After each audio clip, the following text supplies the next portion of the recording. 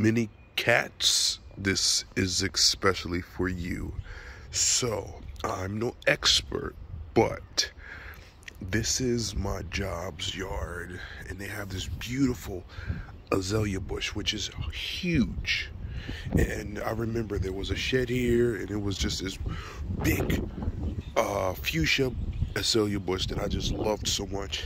And it has continued to grow, but it has bindweed like nobody's business. Bindweed, the the ugly, nasty cousin of uh, morning glory, chokes out this bush, and I'm sure this looks familiar to you. Um, it has white flowers, as you said, and they open in the morning, like you said. But other than that, it just it, it's like strangles this bush so much so.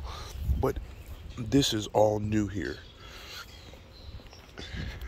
The center is regrowing. I come out here and I pull handfuls of the bindweed off and when it's in the active growing season. Right now it's all dead. But it'll be a struggle again because it just chokes out this bush. I don't know how it got so infested with bindweed, but it smothers this bush and I have to come out here and like pull handfuls of it out. And this azalea bush is just very, very um, resilient.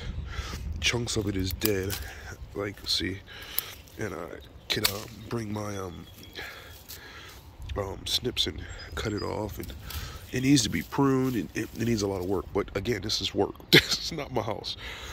But uh, the bindweed, it it just smothers this plant, and um, yeah. But uh, yeah, so I just wanted to make this video just to just to say, see, like big hunks of it is dead, but there's a lot of life behind there. Uh, and I'll keep an update on this bush because it is quite glorious when it's in bloom, and it's full of um, blossoms. But the bindweed is just ridiculous, and there's no way to like spray for it, or you just have to pull it out whenever you see it and stay ahead of it. But bindweed is uh, the ugly cousin of morning glory, which is quite nice, but that stuff, the devil.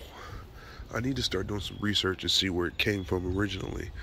But I see a lot of people are plagued with it and um, suffer from from it. And as I said, it will literally make you want to pack your bags and leave because to have a great garden and then you're just perpetually having to pull this stuff out. It's no fun, but peace and blessings and happy growing.